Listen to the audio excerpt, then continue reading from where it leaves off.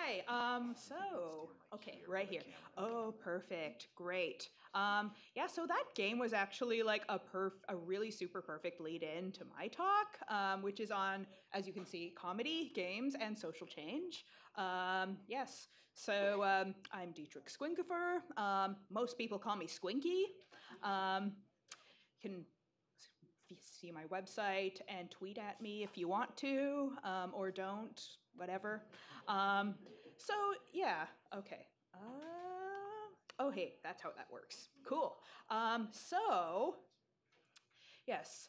So when we think of like games for social change, um, games depicting difficult situations, we tend to think of them as kind of serious and humorless a lot of the time, which is for good reason, because, well, these are serious subjects. Um, being part of a marginalized identity or having a marginalized experience or going through something traumatic in your life, well, that is, those things are difficult.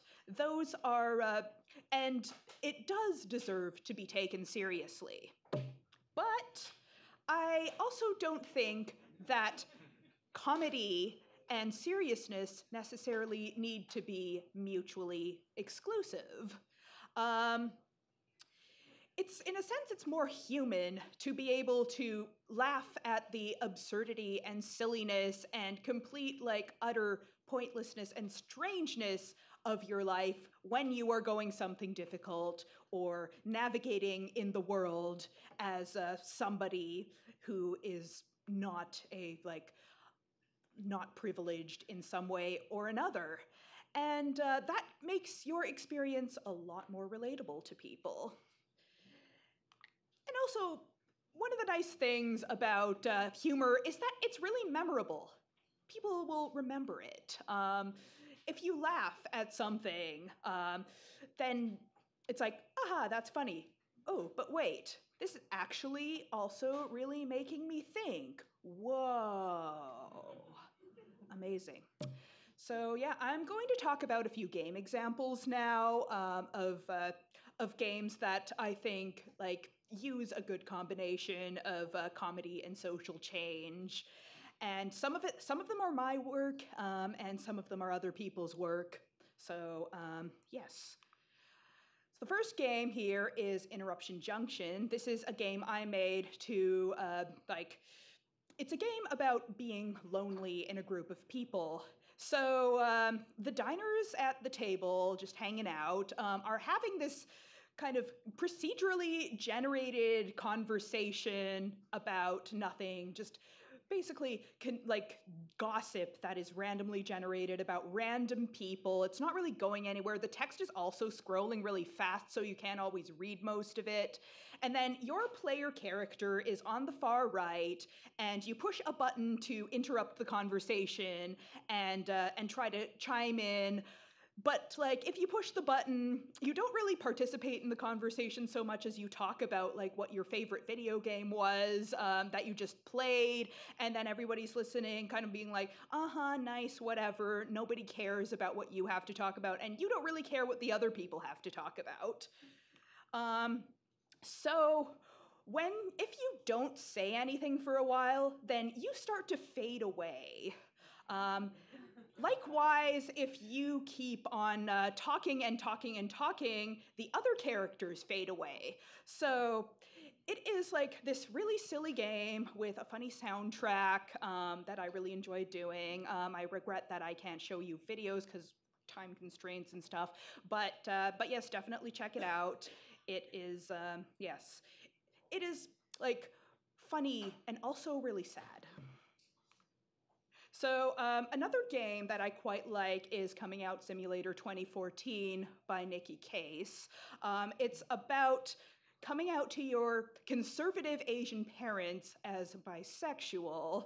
Um, and I, it's a very relatable experience for me in a lot of ways. Um, I definitely had a lot of feelings while playing it, but it's also quite a funny game, which uh, a lot of people don't necessarily point out. Um, it's got this very sarcastic, like, sense of humor in the dialogue. Um, and uh, the situations you get into with your parents can be very, like, can be very exaggerated at times and uh, and like there's even like some projectile vomiting um, when uh, like when your mom asks you like who is the woman and then there's another great joke in there that it's like that's like saying that's like asking who's the chopstick and who's the spoon. So yes little little in jokes like that um, like really poking fun at like uh, kind of like this asian canadian upbringing and having to navigate that difficult space of uh, of cultural differences. Um, so i thought that was really beautiful um, here's another game I wrote um, called Quing's Quest VII The Death of Video Games. It is a twine piece that uh, I wrote in response to Gamergate, which had just kind of started.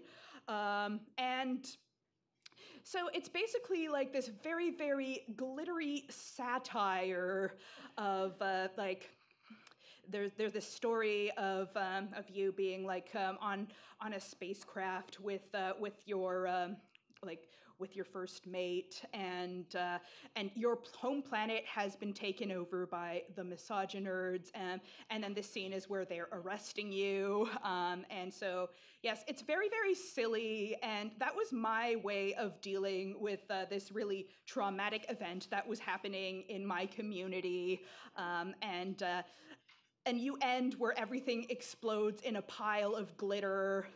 And so that was uh, that was kind of my way of venting my frustrations uh, through a game and uh, and dealing with something horrible that had happened. I was inspired in part by Porpentine's game Crystal Warrior Kesha, which is uh, also like a similar power glittery power fantasy kind of thing, where you play as uh, as Kesha during a concert, and uh, and then you destroy everything. Um, so yes, also also a great a, a, great very funny game. The the power fa- the queer power fantasy. Um, Here's another game I made called Fitzwilliam Darcy's Dance Challenge, uh, poking fun of gender roles and and basically like Jane Austen Regency England style, like constraining constraints. So um, this is like a Dance Dance Revolution clone that is actually very, very difficult to play. So uh, it is very, very hard uh, to figure out what's going on. All the uh, arrows are kind of going too fast. And so you have to do these dance moves on a, on a dance mat. And then in the meantime, Mr. Darcy is dancing with you and and, and then he is insulting you the entire time.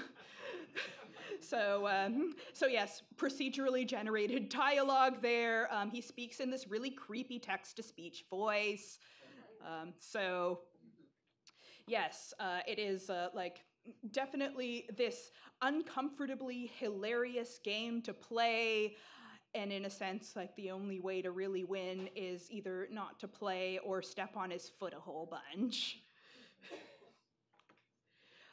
So, uh, this game is Perfect Woman. It is uh, Another like really interesting game about bodies and contorting yourself to fit a particular feminine ideal. I, I, quite like it a lot. It is also one of those games you really have to play to understand how hard it is, and also like a game that is not really so much meant to be won as it is to make a fool of yourself really awkwardly and uh, and kind of like feel empathy for uh, these uh, these very like rigid roles that women are put in. This is realistic kissing simulator. Um, I like it because uh, it's a game about consent that is also really, really silly. So uh, you start out, one of the players says, Would you like to kiss me? And the other one gets to respond with no or yes. and then kissing ensues. yes, this is exactly what kissing is like, and uh, and I love it. It's a, it's like so. It's this very very awkward thing with tongues gnashing and lashing about, uh, and uh, and so it is really like poking fun at kind of the absurdity of intimacy, and its and uh, and silliness, and uh, and I quite love it. A similar game is Groin Gravitators, which uh, has uh, an interesting commentary on masculinity and touch. Uh, so you play as Peter Molyneux and David Bowie about to give each other a hug.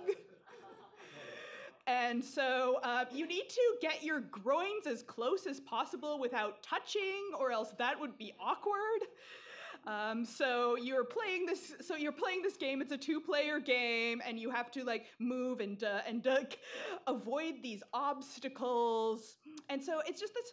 I just found it to be this really like fascinating like commentary on how like on uh, like I don't know how, especially how men, especially in our culture, like um, tend to like feel about like touching other men and uh, and like whether that makes them gay or not, and uh, and and just this kind of uh, this like real awkwardness surrounding it. Um, Consenticle is another game that I quite like by Naomi Clark. Um, it is um, another game about negotiating consent um, and uh, and involves like um, a human and uh, and a tentacle monster having a uh, a consensual encounter um, and then uh, matching up various tokens and such and cards and such uh, to have a satisfying experience. But it's really really hard to play without like completely giggling um, because like um, you wind up kind of like communicating in this very very silly way and uh, it's hilarious to passersby. And i mentioned this game because it inspired me to create another game called tentacles growing everywhere because um, if you think of alien sex um, like i was like there should also be like a game about alien puberty and how awkward that would be. Um, so, so I wrote this story about um, like an alternate uh, like alien society where puberty happens at uh, like where every uh, every child looks about the same until age 13 when their bodies sort suddenly start to grow in some random way and then that determines your role in society. So it's poking interesting fun at uh, at gender roles and like what happens if you grow up without them and then suddenly have them thrust upon you and what that does to your friendships and to how you think of yourself. Um, so uh, yes, it's these uh, three friends who write to each other in their like in their online journals. Um, there is also a uh, like a satire of a puberty book that I insert here and there in the game. So um, it's just like this really, really like um, this this really like kind of um, irritatingly out of touch adult talking about like hey here's what happens when you go through puberty and describes it in like these very normative ways. Um, so that um, so i had some fun with that. Yes. Anyway that is all i have for you for now. Um, feel free to uh, ask me any questions if you run into me here and there. Um, contact me online and have a good rest of your conference. Thank you.